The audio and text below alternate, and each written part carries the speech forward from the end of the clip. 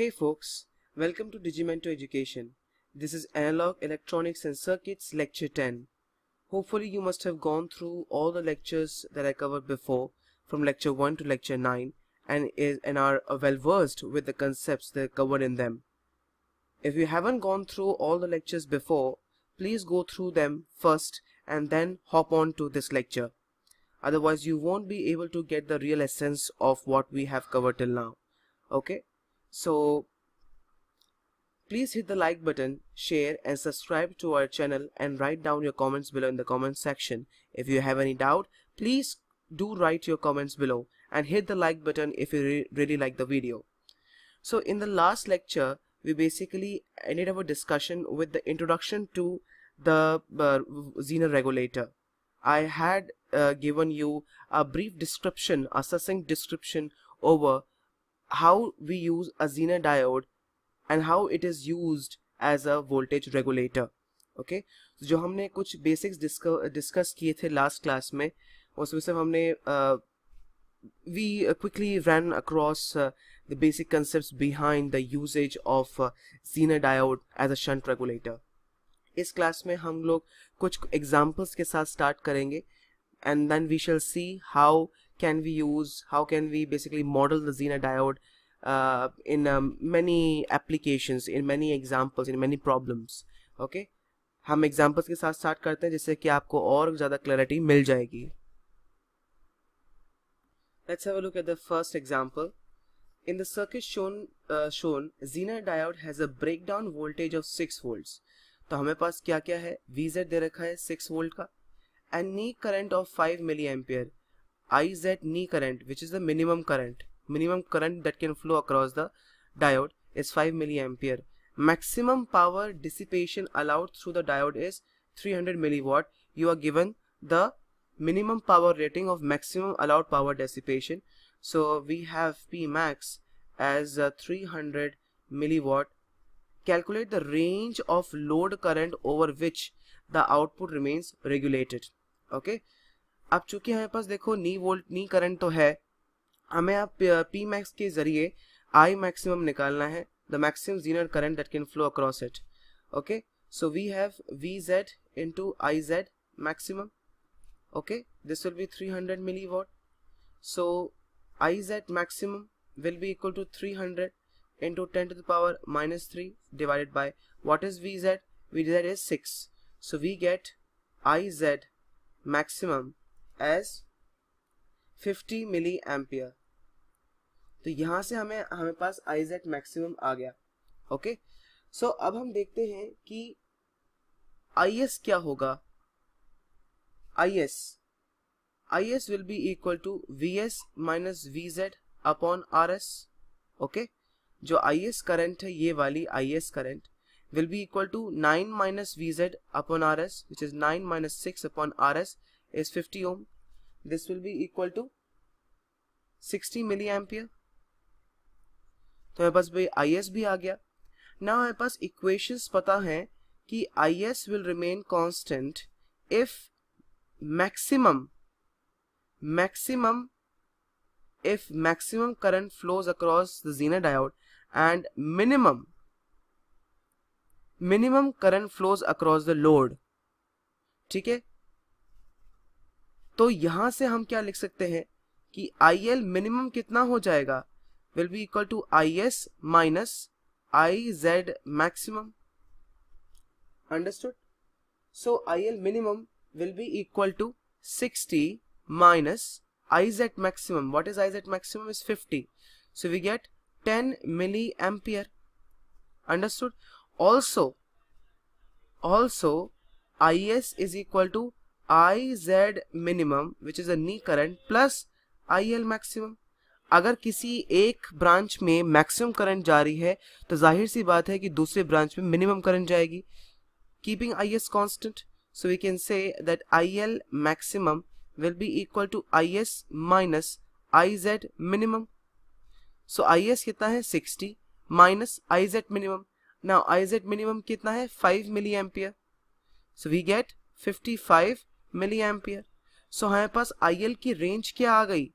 Should be less than और equal to 55 milli ampere and should be greater than equal to 10 milli ampere so this is the particular range for which your Zener diode will act properly so इस range के लिए आपका Zener diode properly act करेगा। तो इसका answer क्या हो गया? ये हो गया।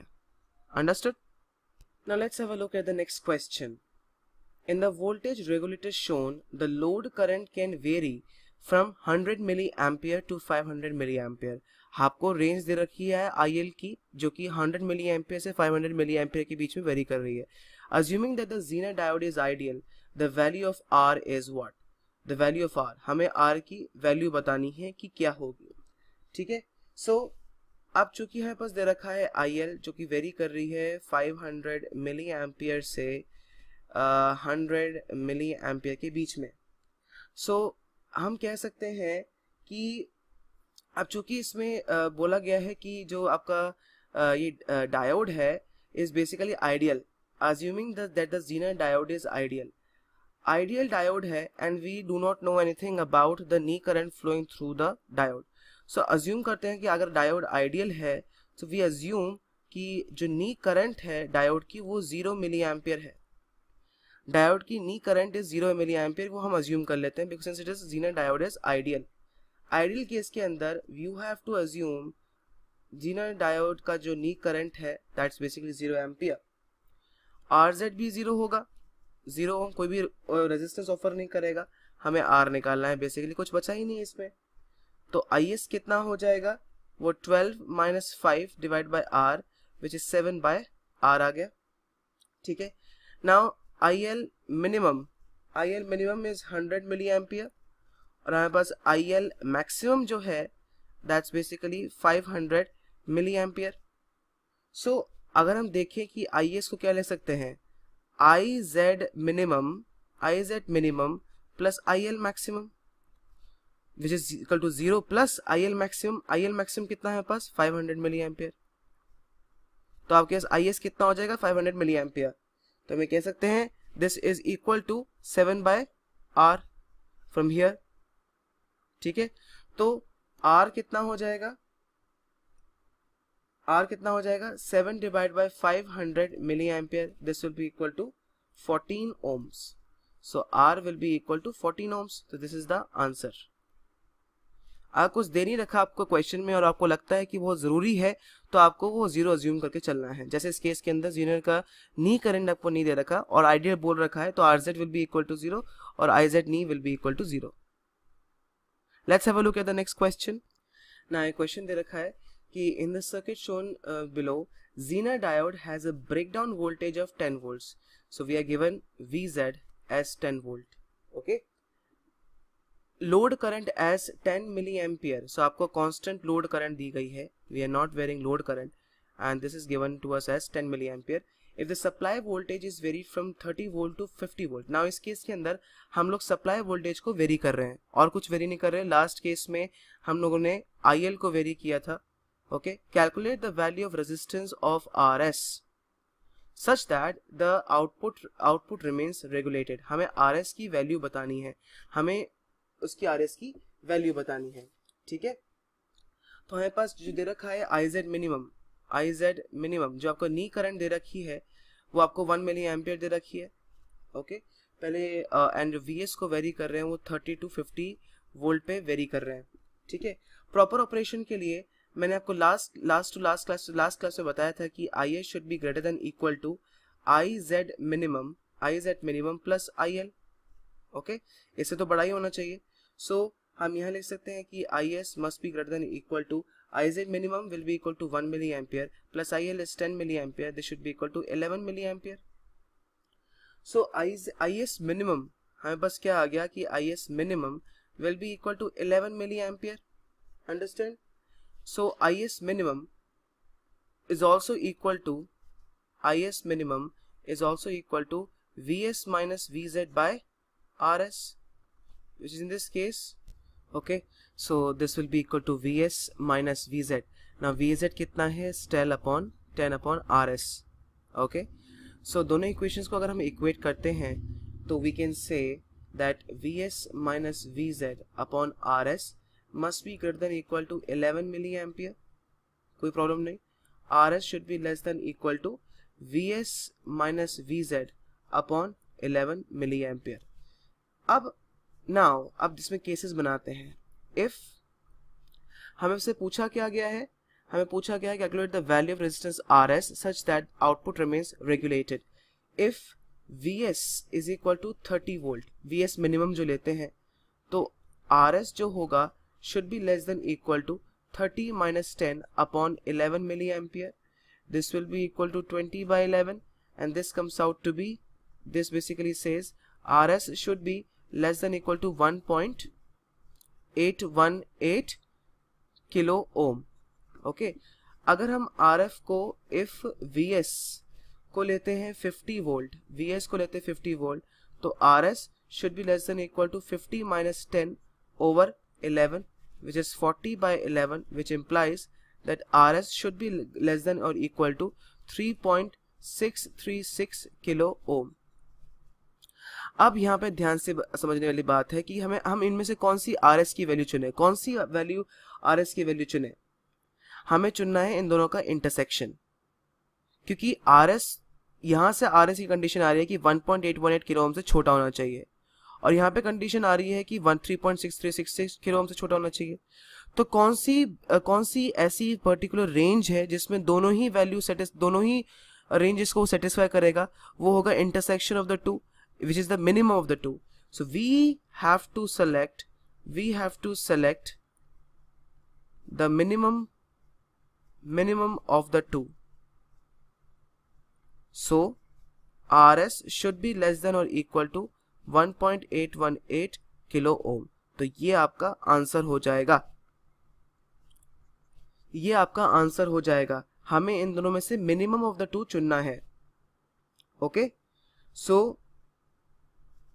सो so, इसमें से मैं आप नोट कर लीजिए ये बहुत इंपॉर्टेंट पॉइंट है कि इन Zener shunt regulator maximum maximum R S is calculated is calculated by considering is calculated by considering minimum supply voltage minimum supply voltage and minimum Zener current. And minimum Zener current. Okay? Minimum supply voltage and minimum Zener current. So understood? Second point, minimum RS is calculated minimum RS is calculated by considering maximum supply voltage maximum supply voltage and maximum Zener current understand इसी concept पे based 2018 GATE में बहुत ही अच्छा question पूछा गया है और बहुत ही कंफ्यूजिंग क्वेश्चन है। If somebody do not if somebody is not able to get the real essence of what I have taught just now you can not solve the question it is very very is that is that important is that gob smacking so let's move to that question वो question करते हैं solve okay okay, ये question है जो कि GATE 2018 में पूछा गया था। The circuit shown is use to provide regulated voltage 5 volt across 1 kilo ohm resistor ठीक है? आपको दिया गया है कि जो 5 वोल्ट है, वो ऑफकोर्स ये बात है 1 किलो ओम रेजिस्टर के अक्रॉस 5 वोल्ट दिया गया है regulated voltage assume that the zener diode has a constant reverse breakdown voltage for a current range starting from a minimum required zener current I Z minimum आपको दे रखा है 2 मिली ampere आपको दे रखा है I Z minimum two milli ampere ठीक है to its maximum counterpart the input voltage V T अब आपके source voltage V T vary करी जा रही है। जैसे ही हमने last last case last example में देखा था कि उसमें भी सोर्स वोल्टेज वेरी की गई थी। बिटवीन में vary by five percent from its nominal value of six volt nominal value जो आपका टी का दे रखा है, वो सिक्स वोल्ट है, और वो फाइव परसेंट वैल्यू से वो वेरी कर सकती है। The resistance of the diode in its breakdown region is negligible R Z आपको नेग्लिजिबल दे रखा है the value of R and the minimum required power rating of the diode respectively are आपके ऑप्शन है 186 ohms and 10 milliwatt, B 100 ohm and 40 milliwatt, C 100 ohm and 10 milliwatt and D 186 ohm and 40 milliwatt. This is one of the most confusing questions to be asked from the zener diode concepts. अगर आपको concept clear नहीं है तो आप इसको solve नहीं कर सकते क्योंकि इसमें मल्टीपल ऑप्शन सही आ रहे थे, और उनमें से एक गलत एक गलत था, एक सही था। और बहुत कंफ्यूजिंग और बहुत ही बेहतरीन सवाल है। चलो इसको सॉल्व करते हैं। हमारे पास I S I Z minimum two milli ampere दे रखा है, उन्होंने लिख दिया। अब पता है कि आई एस क्या होता है? It should be greater than equal to I Z minimum plus I L ठीक है? अब यहाँ से बता सकते हैं कि आई एल कितना हो जाएगा। हम बता सकते हैं कि I L will be equal to will be equal to five divide by one kilo which is equal to five milli ampere because V Z कितना है? फाइव वोल्ट है। और resistance R L is one kilo तो I L कितना हो जाएगा? I L कितना हो जाएगा? फाइव मिली एम्पियर ठीक है? सो हम लिख सकते हैं कि I S should be greater than equal to I Z minimum which is two plus five which is equal to seven milli ampere ठीक है? तो आई एस मिनिमम जो लिख सकते हैं that should be equal to seven milli ampere understand अब अब देखते हैं दूसरा पॉइंट जो वी एस है, वो आपका वेरी कर रहा है six volt plus minus five percent of six volt तो हम कह सकते हैं कि V S V S maximum V S की मैक्सिमम वैल्यू कितनी हो जाएगी? Six plus zero point zero five of six which is six point zero three volt okay और जो वी एस मिनिमम होगा that will be equal to six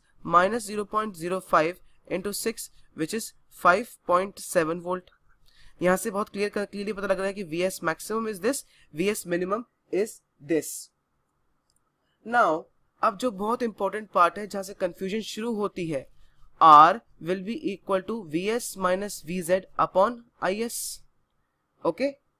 हम ये लिख सकते हैं कि नहीं लिख सकते? हमने अभी कुछ कंसेप्ट पढ़े थे कि मैक्सिमम रेजिस्टेंस निकालने के लिए अगर आर एस मैक्सिमम निकालना है मैक्स बाय डिफ़ॉल्ट हमें हमेशा रेजिस्टर मैक्सिमम रेजिस्टेंस से निकालना होता है बिकॉज़ इतने रेजिस्टेंस के लिए हम आउटपुट रेगुलेट कर सकते हैं। सो so, आर जो होगा मैक्सिमम कब निकलेगा? जब ये वी एस मिनिमम होगा minus V Z and I Z minimum होगा। आई जेड मिनिमम कब होगा? जब आई जेड मिनिमम होगा तो आई एस मिनिमम होगा। अंडरस्टैंड मैंने भी कुछ ही देर में पहले बात की थी कि R maximum maximum source resistance कब निकल सकता है? जब आपका सोर्स वोल्टेज मिनिमम हो which is basically V T here V S is equal to V T here and जब वी एस मिनिमम हो और आई जेड मिनिमम हो जीनर करंट मिनिमम होगा तो आई एस मिनिमम होगा। So R will be equal to V S minimum is 5.7 minus V Z V Z कितना है? Five upon I S minimum I S minimum कितना है? अभी हमने निकाला ही था I S minimum seven milli ampere ठीक है? सो यहाँ से हमारे पास क्या आ गया? Hundred ohm so R will be equal to hundred ohm कुछ लोग क्या करते हैं कि यहाँ पे आई एस मिनिमम डाल देते हैं और वी एस मैक्सिमम रख देते हैं। V S maximum six point three minus five by seven उससे आंसर आता है वन एटी सिक्स ओम्स जो कि इस ऑप्शन में दे रखा है। तो कंफ्यूजिंग है। ये ध्यान रखना है आपको। हमेशा अब चूँकि और कोई केस बचा ही नहीं है, हमारे पास आई मिनिमम ही बचा। और ये भी देख सकते हो कि क्वेश्चन में हमारे पास आई जेड मैक्सिमम नहीं दे रखा है। आई जेड मैक्सिमम मतलब maximum allowed current current through the diode वो भी नहीं दे रखा है। तो हमें ये लेके चलना है कि I S minimum and V S minimum तो R will be equal to hundred ohm तो इससे इस केस में हम देख सकते हैं कि आपका ए ऑप्शन और डी ऑप्शन तो एलिमिनेट हो ही गए हैं, बस सी और बी ऑप्शन बचे हैं। अब वो निकालना है। Now for R is equal to hundred ohm के लिए R is equal to hundred ohm के लिए हम लोग इसकी हेल्प से हम आई एस मैक्सिमम निकाल सकते हैं कि नहीं निकाल सकते? निकाल सकते हैं। नाउ हम कह सकते हैं कि I S maximum will be equal to V S maximum minus V Z upon R इस रजिस्टर इस रजिस्टर रेजिस्टेंस वैल्यू के लिए I I S maximum will be equal to V S maximum minus V Z upon R ठीक है ना?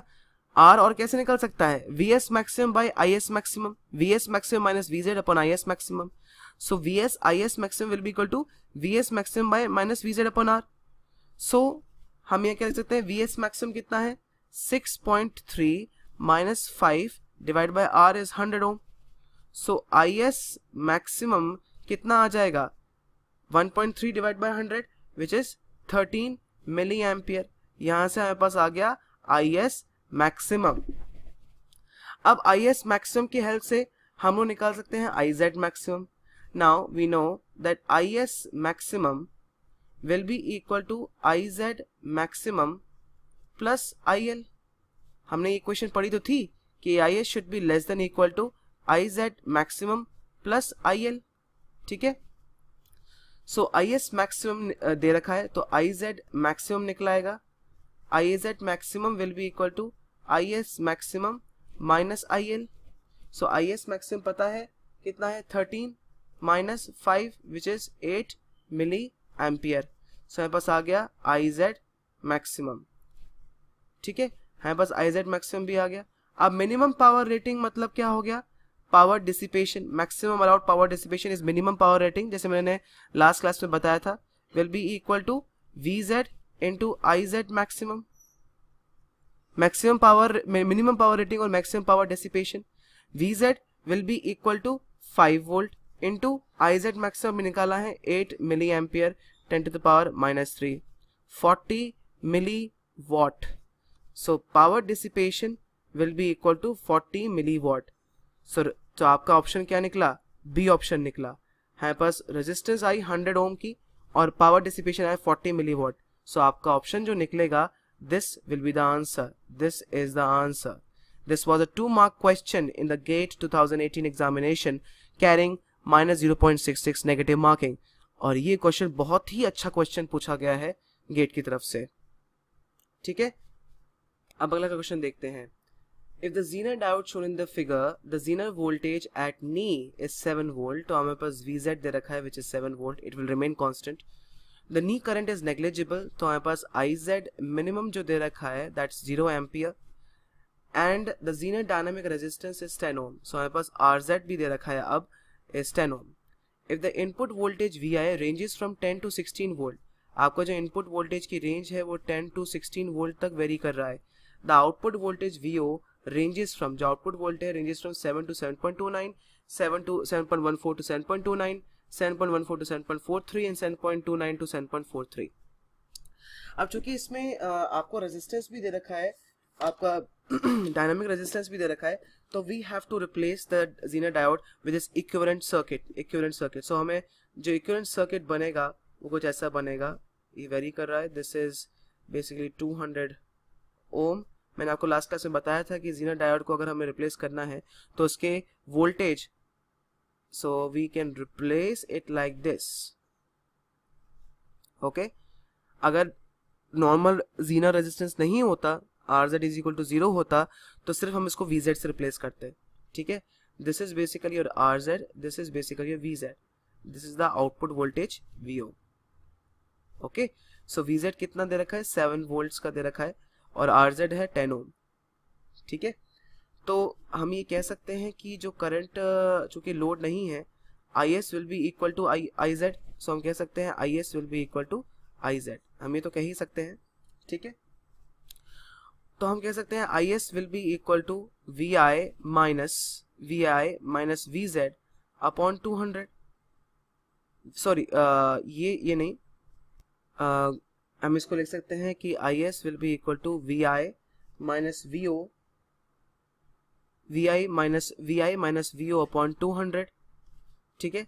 और जब हम इसमें केवीएल लगाते हैं जब इसमें केवीएल लगाते हैं तो we can say that V O minus I S R Z minus V Z will be equal to zero so V O will be equal to उस लूप की केवीएल से हमें क्या मिलता है? कि जो आई एस है, और क्या रह सकते हैं हम लोग? V I minus V Z upon two hundred ten ठीक है? टू हंड्रेड टेन कैसे लिख लिया हमने? कि चूँकि रेजिस्टेंस विल एड अपना two hundred plus ten ohm two hundred ten so V I minus V Z upon two hundred ten तो एक आई एस ये हो गया। और जो बाउटर बाहर वाले लूप में यहाँ पे भी हम एक लूप लग, के लगाते हैं आउटर लूप में। So we get V O minus I S R Z minus V Z is equal to zero so from here we get V O as V I minus V Z upon two hundred ten which is I S into R Z plus V Z ठीक है? हमने इसको यहाँ पे plug in कर दिया I S की value will equal to V I minus V Z upon two hundred ten ठीक है? सो नाउ अब हमें निकालना है कि आउटपुट आउटपुट वोल्टेज की रेंज जो वीओ मिनिमम कब होगा? जब वीओ जो है वो आपका मिनिमम कब होगा? When V I will be minimum so V I will be minimum minus V Z upon two hundred ten into R Z plus V Z so VO minimum कितना है पास? Ten minus seven upon two hundred ten into R Z R Z is ten plus V Z is seven so we get 7.14 volt so आपके पास VO minimum जो आ गया that's equal to 7.14 point one four volt ना VO maximum निकालना है.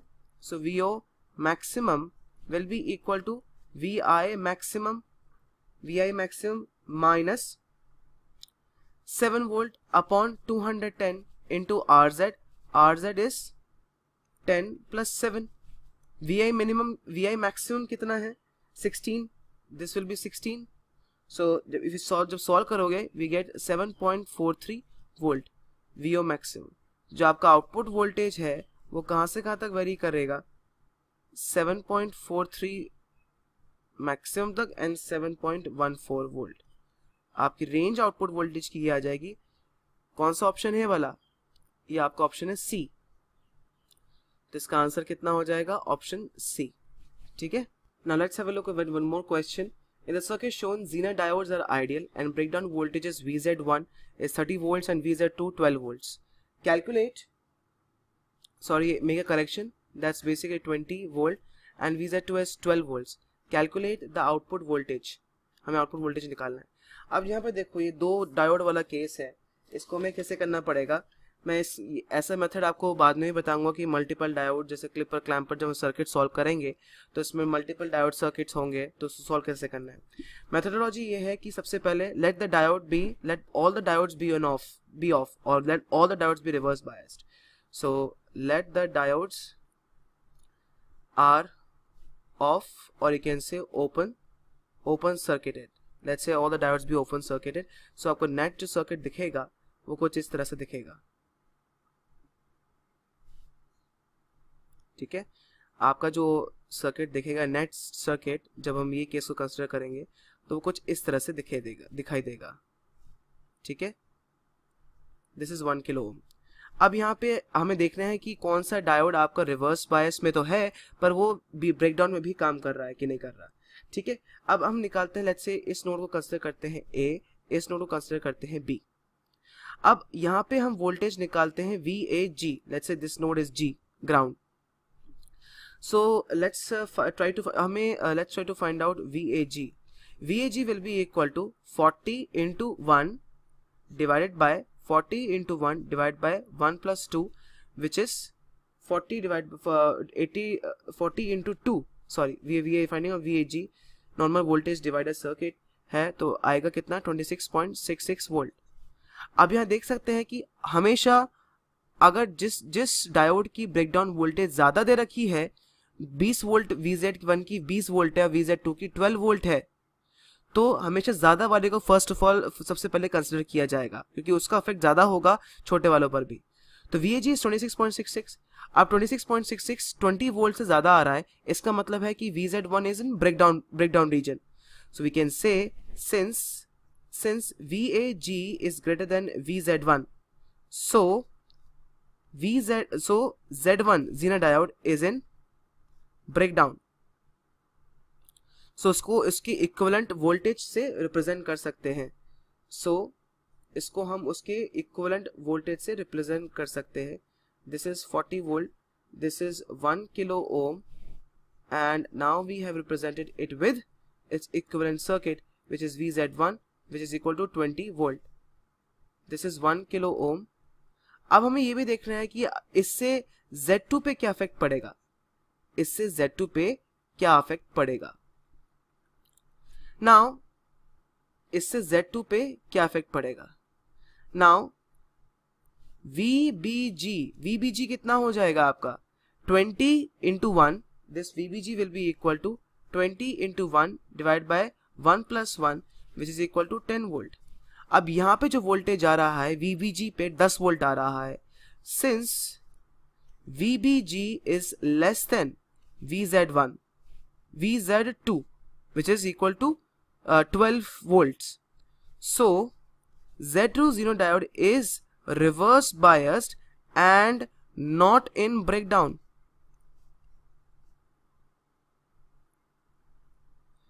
So so Z2 will remain open circuited so so, यही आपका फिर नेट नेट डायग्राम बनेगा नेट सर्किट बनेगा। सो so, हम लोग output so output voltage VO will be equal to what output voltage VO will be equal to VBG which is equal to ten volt so दस volt आपका answer होगा। By chance अगर 10 volt आपका zero जेटो से कम आता तो वो वो भी एक्टिव में आ जाता वो भी आपका ब्रेकडाउन में आ जाता। तो जो आउटपुट वोल्टेज होता है वो वी जेड टू के बराबर होता है। बट बट ऐसा इस केस में नहीं है। ये कुछ थे काफ़ी अच्छे एग्जाम्पल्स जीना डायोड पे जो कि पूछे जाते हैं। मैं आपसे अनुरोध करता हूँ I request you all to please do more and more problems on this because ये क्वेश्चंस ऐसे बहुत ट्रिकी पूछे जाते हैं। जैसे मैंने आपको दिखाया गेट 2018 में बहुत अच्छा क्वेश्चन पूछा गया है इसी कंसेप्ट से। सो so, इन कंसेप्ट को अच्छी तरह से दिमाग में बिठा लो और सॉल्व करो।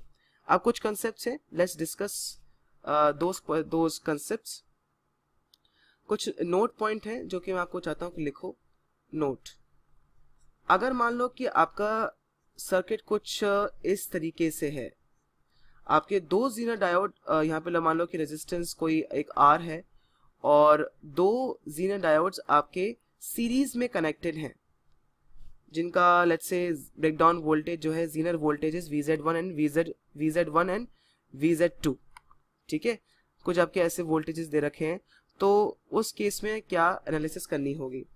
So if two Zener if two Zener diodes are connected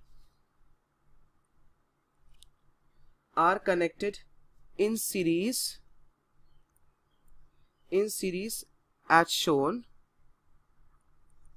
okay then both will be in breakdown if and only if V I is greater than V Z one plus V Z two ये बहुत ही important point है। अगर we I जो है V Z one plus V Z two से बड़ा है तो दोनों ही ब्रेकडाउन रीजन में होंगे।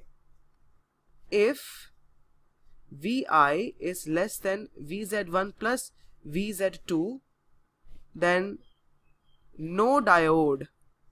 No diode will be in breakdown. Understand? ठीक है? सो अभी हमने जीना डायोड के बारे में काफ़ी कुछ पढ़ा है तो हम देखते हैं कुछ इसके disadvantages let's basically jot down some disadvantages of Zener diode as a shunt regulator So, disadvantages of Zener diode as shunt regulator. Okay okay? सब कुछ डिसएडवांटेजेस देख लेते हैं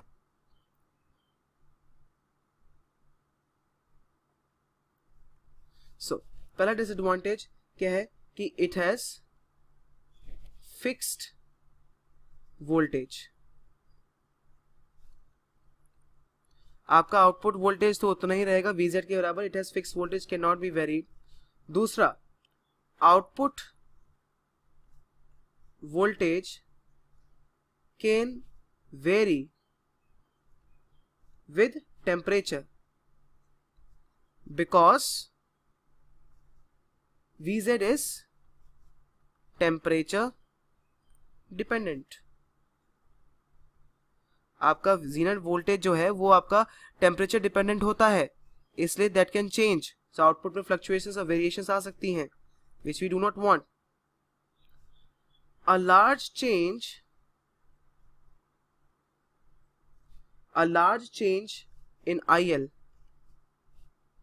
causes an equal and opposite. Equal and opposite change in in IZ in IS क्योंकि आई आई आई आई इन sorry in I Z आपका I S चूँकि same रहना चाहिए तो आई जेड में इक्वल अपोजिट चेंज होगा। As a result as a result output voltage voltage can vary by considerable amount.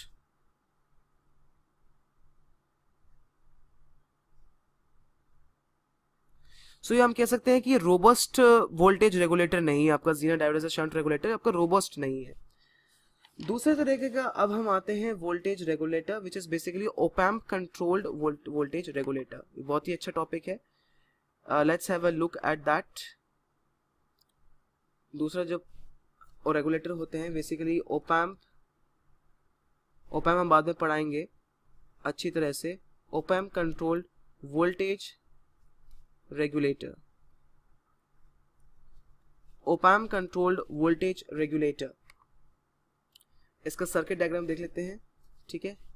एक आपका ओपैम्प होता है विच इज़ पोलैरिटीज ऐसे होती हैं। दूसरा आपका एक बीजेटी लगा होता है बीजेटी एमीटर आपका उसका यहाँ पे होता है and this is how it is connected फिर ये कनेक्शन जो है ये कनेक्शन जो है वो आपकी सप्लाई वोल्टेज पे दी जाती है विच इज़ बेसिकली वी जो कि आपकी फ्लक्चुएशन uh, वाली आती है फ़िल्टर के आउटपुट पे और ये आपका यहाँ कनेक्ट किया जाता है this is let say R three okay this potential this is connected to V Z which is एक जीना डायोड से कनेक्ट किया जाता है।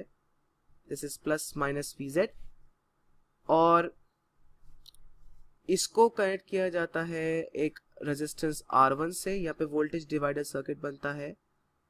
And this is connected with R2 और ये आउटपुट पे लोड रेजिस्टेंस R आउटपुट ठीक है? यहाँ पे आपका आउटपुट वोल्टेज लिया जाता है। This is the BJT V O prime आप देख सकते हैं this is basically negative feedback है। नेगेटिव फीडबैक सर्किट है ये बेसिकली आप देख सकते हैं। तो नेगेटिव फीडबैक में इलेक्ट्रिकली शॉर्ट बेसिकली एक का कंसेप्ट आता है। ठीक है? अब इसको हम एनालिसिस करते हैं। इस सर्किट को एनालिसिस करते हैं। Let's perform the analysis of the circuit ना लेट्स से यहाँ करंट जा रही है आई बी और लेट्स से करंट यहाँ जा रही है I C this current is I E BJT का अगर बीटा बहुत ज़्यादा है तो we can consider I C is equal to I T अब I C is equal to I consider कर सकते हैं। अगर आइडियल केस में ले चले कि बाय डिफ़ॉल्ट हम कंसिडर करते हैं beta is not given considering beta is large so I B को हम ज़ीरो मान सकते हैं और आई सी और आई को आई ई को सेम मान सकते हैं। ओके लेट्स से यहाँ जो वोल्टेज है वो वी टू है। इधर जो वोल्टेज आएगी that will be equal to V Z और यहाँ वोल्टेज जो है वो है वी टू ठीक है? सो so, ये आपका ओवरऑल सर्किट है। हम कह सकते हैं कि जो आईसी है वो कितना हो जाएगा? बीटा आई बी अप्रोक्सीमेटली एक आईसीओ पे भी डिपेंड करता है रिवर्स सेचुरेशन करंट पे भी डिपेंड करता है। We are not considering that ठीक है? और I E will be equal to one plus beta into I B consider कर सकते हैं। So okay? सो ये जो आउटपुट वोल्टेज है चूँकि बाय डिफ़ॉल्ट हम कैसे करते हैं कि ओपैम्प में ओपैम्प के इनपुट में कोई भी करंट नहीं जा रही है। सो so, यहाँ पे हम वोल्टेज डिवाइडर सर्किट लगा सकते हैं जो आउटपुट वोल्टेज है। सो so, हम कह सकते हैं कि V2 कितना हो जाएगा? V O into R two by R one plus R two V two will be equal to V O into R two by R one plus R two and that will be equal to V Z that will be equal to V Z अब हम देखते हैं इसमें basically ये common collector configuration है, एक तरीके से हम देख सकते हैं। This is a common collector configuration so basically ये है कि series series transistor series transistor is in common collector configuration और कॉमन कलेक्टर का जो वोल्टेज गेन नियरली जो होता है वो वन के इक्वल होता है which also which also which is also called as emitter follower okay so nearly हम कह सकते हैं कि ए वी जो है वो वन के इक्वल है. स्लाइटली लेस देन वन और by default, if nothing is given, we can say this is, let's say IL हम कंसिडर कर सकते हैं IL is nearly equal to IE IL is nearly to I E अगर कुछ दे नहीं रखा है क्वेश्चन में, अगर बाई डिफ़ॉल्ट हम इसको कंसिडर कर सकते हैं।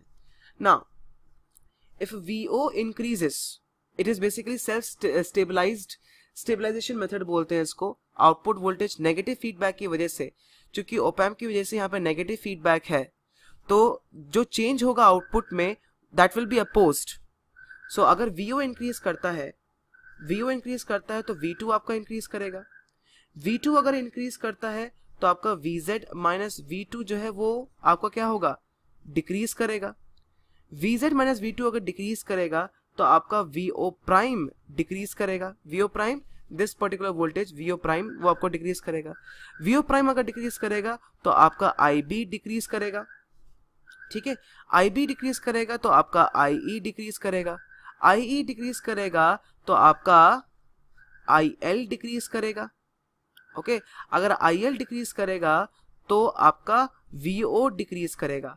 तो the increase in the output voltage is opposing its change so the increase in output voltage final result in to decrease in the output voltage so the output voltage basically the variation in the output voltage basically opposes the opposite variation in the its value जो increase होगा, वो decrease करेगा होगा। अगर decrease होगा तो वो increase होगा। तो चेंज को अपोज करेगा हमेशा। ठीक है? So the initial and this is due to the due to negative feedback negative feedback की वजह से ये हो रहा है। चूँकि ओपैम्प आपका नेगेटिव फीडबैक में कनेक्टेड है। So the initial increase initial increase in output gets cancelled gets cancelled by a subsequent subsequent decrease in the output. Thus net change in output will be 0 और output voltage remains constant and that's what we want zener diode में अगर I L change करता है तो there will be subsequent change in the zener current zener current में अगर change करेगा सो जीना current में अगर जीनर करेंट जीनर करेंट में अगर चेंज आएगा so output voltage can vary by considerable amount ठीक है? Large change in IL causes equal and opposite change in IZ as a result the output voltage में भी uh, variations आएँगे। Output voltage जो होता है वो बेसिकली जीनर वोल्टेज है and it dependent on temperature so temperature change करेगा तो आपके आउटपुट जीनर वोल्टेज में चेंज आएगा। तो कॉन्सिक्वेंटली uh, uh, जो आपके आउटपुट वोल्टेज में भी चेंज आएगा which we do not want so यहाँ पे आउटपुट वोल्टेज में आउटपुट वोल्टेज जो है वो कांस्टेंट है। That's a very good point over the zener volt zener shunt regulator. Similarly negative this is this is this is all due to negative negative feedback opamp जो है वो negative feedback में connect किया गया है so which is responsible for the regulation this responsible for regulation ठीक है so let's have a look at the calculation of VO since ये बेसिकली आपका नेगेटिव फीडबैक पे है सो so हम लोग शॉर्ट सर्किट एनालिसिस कर सकते हैं ओपैम का। We can consider V plus is equal to V minus which means that V plus पे वी जेड है is equal to V two which is equal to V O into R two by R one plus R two so हम कह सकते हैं this implies that VO is nearly equal to is nearly equal to Vz into 1 plus R1 by R2 चूँकि negative feedback में है जो आपका difference voltage होगा जो वोल्टेज डिफरेंस होगा वो आपका जो आपका ओपैम्प होगा that will be that will work in the linear region linear region में काम करता है difference of the two voltages between the two terminals of the op amp will be negligible will be nearly zero ठीक है so if if vari if a variable variable resistor if a variable resistor is used in place of R1 or and R2 output voltage can be varied. Okay? That's all folks. I'm stopping this lecture here this lecture was very very important and very very exhaustive. I had given you some illustri uh, illustrative examples on the zener regulator. Please go through the concepts very carefully and try to understand each and every nuance of what i taught in the in this lecture. Try to solve more questions based on these concepts. Thank you very much